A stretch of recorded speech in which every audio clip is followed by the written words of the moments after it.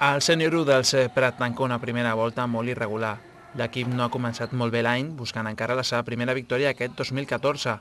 L'última derrota es va produir a casa davant el Club Natació Terrassa 64-77. Això sí, l'equip té clar quins són els objectius en aquesta segona volta. Lógicamente nos marcamos mejorar lo que hemos hecho en la primera vuelta. Eh, a nivel clasificatorio tenemos que salvar la categoría lo antes posible y luego pues aspirar eh, para estar lo más arriba.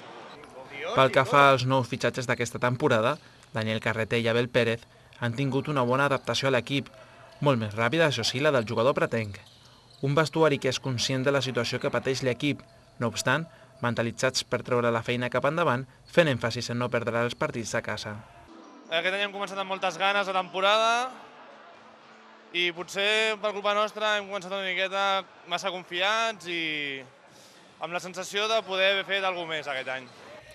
El conjunt de Jesús Fernández ocuparà mateix la dotzena posició a la taula, amb 21 punts i un balanç de 6 victòries i 9 derrotes.